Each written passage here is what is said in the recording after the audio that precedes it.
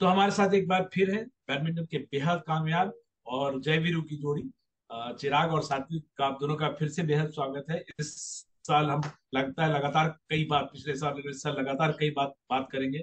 आप हमेशा आप लोग दोनों बड़ी कामयाबी लेकर आते हैं। सबसे पहले तो वर्ल्ड नंबर थ्री हो गए चिराग आपसे रिएक्शन इस पे मतलब ये बकेट लिस्ट में था अभी? हाँ definitely I think start of the year में uh, हमने जितने भी इंटरव्यूज़ दिए थे उसमें uh, हमारे टारगेट्स फॉर द ईयर में हमारा डेफिनेटली टॉप थ्री एंटर करना था। एंड हम लोग ने जितना the last couple of tournament जैसे हम खेले हैं इट्स इट्स गुड दैट हमको टॉप थ्री में आने का मौका मिला इतना जल्दी। बट अब भी नंबर वन का सफ़र भी उतना दूर नहीं है तो हमारा next target definitely world number one बनना होगा भी।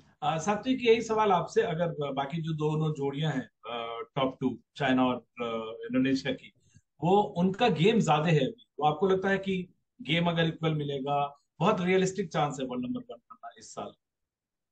हाँ। सर हम लोग मतलब मैं और चिराग कभी रैंकिंग के ऊपर उतना फोकस नहीं किया था कभी। मतलब पर्टिकुलरली मतलब इधर इसी के होना है इधर होना है इसके लिए पर्टिकुलरली कभी मेंटली भी प्रिपेयर नहीं होता था। हम लोग हर बार टूर्नामेंट को ही सोच रहा था मतलब ये टूर्नामेंट में अच्छा खेलना है ये टूर्नामेंट में अच्छा खेलना है।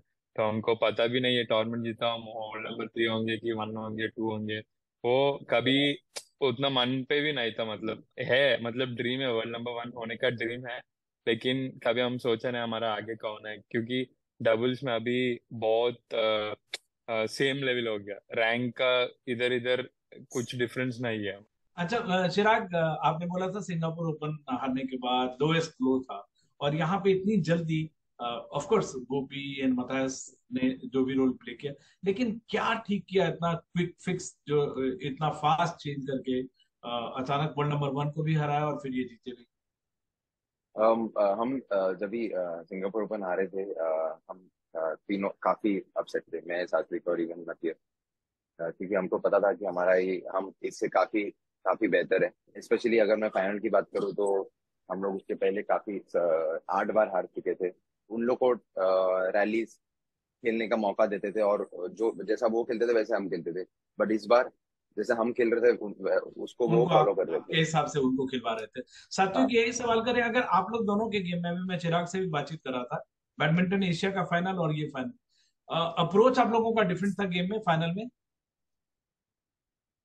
हाँ हाँ सर मतलब लास्ट वो एबीसी का और ये इंडोनेशिया ओपन का बहुत डिफरेंट था। हम लोग बहुत एंजॉय करके खेला था ये टूर्नामेंट पूरा मतलब हम कुछ रिज़ल्ट पे ज़्यादा फोकस नहीं दिया हम पूरा एंजॉय करके एग्रेसिव माइंडसेट से खेल रहे थे। बिल्कुल। एक फाइनल सवाल चिराग करना चाहूँगा आप लोग ईस्ट वेस्ट की जोड़ी से। चिराग क्या आप लोग का सेलिब्रेशन हमेशा अलग होता है जो डांस वांस इस बार सेलिब्रेट किया है वैसे करेंगे। और Paris of course Asian Games है लेकिन पेरिस अब लगता है कि एक realistic target definitely I think हमने uh, जितना हो सके हम लोग सेलिब्रेट करते हैं ऑन कोर्ट हमारा काफ़ी सिमिलर होता है सात्विक नाचता है मैं टी शर्ट निकालता हूँ। सिक्स पैक पता नहीं कितना है आपका। योर बैक अभी अभी नहीं है। अभी दो तीन दिन प्रैक्टिस नहीं किया। बट हाँ सेलिब्रेशन और फिर उसके बाद जब भी कोर्ट के बाहर आते हैं तो हम हमारे टीम के साथ एक अच्छा सा डिनर करते हैं। जो भी हमारे सपोर्ट स्टाफ है हमारे कोचेज है उनके साथ बैठ के डिनर करते हैं। हमारा एक रिचुअल बन चुका है। I think as far as Asian Games और ओलंपिक्स का बात है हाँ Asian Games is definitely one of the big targets for the year इस साल का काफ़ी बड़ा टारगेट है। और इवेंचुअली ओलंपिक्स आई थिंक मुझमें अ, मतलब अ, मुझे ये ऐसा लगता है कि मेरे और सात्विक में वो डेफिनेटली एक चीज़ है जो अ, हमें वो टूर्नामेंट जिता सकती है तो होपफुली हम जीत पाए बट या वो हमारा डेफिनेटली टारगेट है।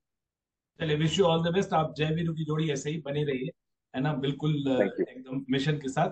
और आप लोग दोनों से उम्मीद करेंगे और भी कई बार हम बात करने का मौका मिले वर्ल्ड नंबर वन बने एशियन गेम्स जीते ओलंपिक जीते। Wish you all the best both of thank you thank you thank you so much